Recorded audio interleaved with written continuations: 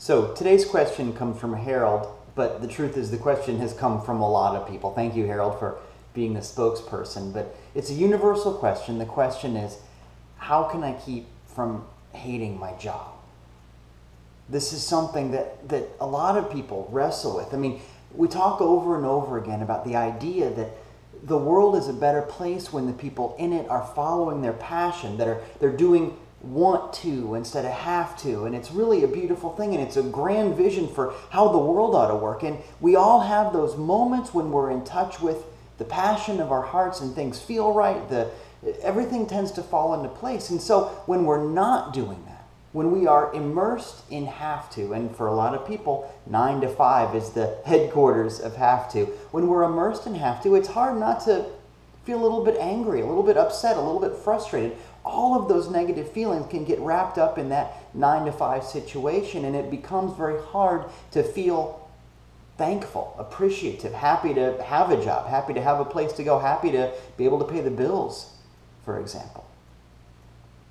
But the thing is, on a certain level, you're not really mad at the job, you're mad at yourself for not being where you want to go yet. You know what I mean? You're not mad at the job, you're not happy instead about the fact that you're not yet writing the great American novel. You haven't yet uh, run away to join the circus. You haven't done whatever it is that, that big idea that you want to get to. And so sometimes you can be so mad at yourself for not being there that you take it out on the place where you are, which is the job. Although, truthfully, this can apply to a relationship. This can apply to all kinds of situations. But for a lot of people, like I said, it's the nine to five situation. So, once again, you're not really mad at the job. You're mad at yourself for not being where you want to be. But here's the catch the trick to getting where you want to go is by really being present where you are. Yeah, it's absolutely the case that the world is a better place when the people in it follow their passion. But what goes along with that is this no more waiting. I don't want you to wait to be happy, to wait to be passionate, to wait to be honest. There's too many people holding back the truth about themselves. So, yeah, it's a great idea to say, you know, someday I'm going to win the lottery or it's all going to work out and I'm going to take time and I'm going to write that book, I'm going to release that album, I'm going to make that art, I'm going to speak my truth. But here's the thing the way to get there is to be passionate about where you are right now. Yeah, okay, so it's not where you want to end up, but here's the thing I always say nothing ever ends. When you get to a finish line, there's going to be another finish line. So, better to really learn how to appreciate where you are. It's easy to, to love the big ideas, to love your creator, whatever you think about that, to love the people in your family. Those are easy things, but here's the tricky one love your right now, love your situation, love your work. It doesn't mean you've got to put up with it. It doesn't mean the thing that you do right now is the thing you're supposed to be doing for the rest of your life. But what it does mean is where you are right now. And like I said, this is about a job, but it could easily be about a relationship, about whatever you happen to find yourself in.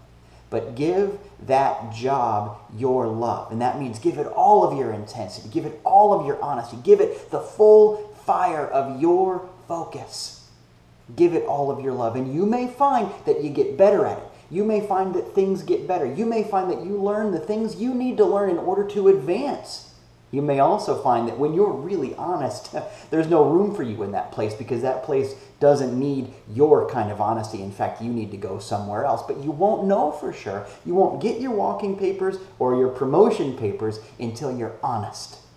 So ask yourself how can you love your now? you begin to realize that, you know what, this job wasn't so bad. In fact, remember how happy you were when you got it?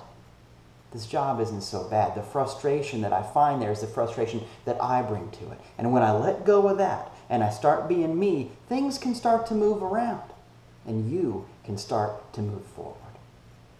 Thank you for these amazing questions. Thank you for, for doing this with me. Thanks for watching these videos. So many people are sharing and subscribing to the videos lately. I'm just really bowled over. And once again, I can't thank you enough. And the special favor that I ask of you is go to my Facebook page, facebook.com slash Dieter Randolph, and click that like button. And while you're there, go ahead and share it with some other people too. Thanks a lot. Take care of yourself.